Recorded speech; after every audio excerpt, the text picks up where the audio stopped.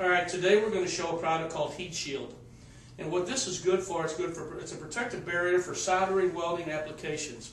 You know, a lot of people use this when they're working on tractor trailers, trailers themselves. They, they get up underneath a dashboard and they don't want to catch anything else on fire, but they got to do some soldering on wires. Or RVs where they got the wires running through the side. What we don't want to do is burn other things and save time and save money by being able to work on it in place. What I'm going to show you today is how heat shield actually works. And by doing this, this is the same product that you'll see on TV where people light themselves on fire and they have it sprayed on their arms. And then they walk around and they put it out. I do not suggest you spray this on anybody's arms or anybody. This is a normal styrofoam cup that I'm going to be demonstrating.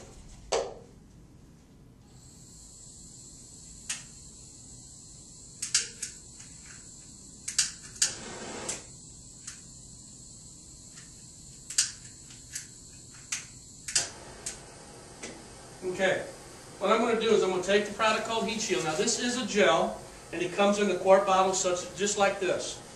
I'm going to spray this on the styrofoam cup on the front half of where I'm holding it, as you can see. Alright, to show you that this is a normal styrofoam cup, I'll spray, I'll burn the other half. You can see how fast it went through. Show you one more time. This is the side with heat shield on it. Normal styrofoam cup with heat shield. Then spray none up here. You can see how it goes through.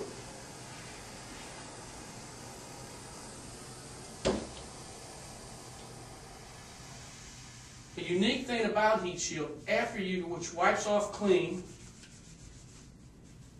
and you get it all off of there,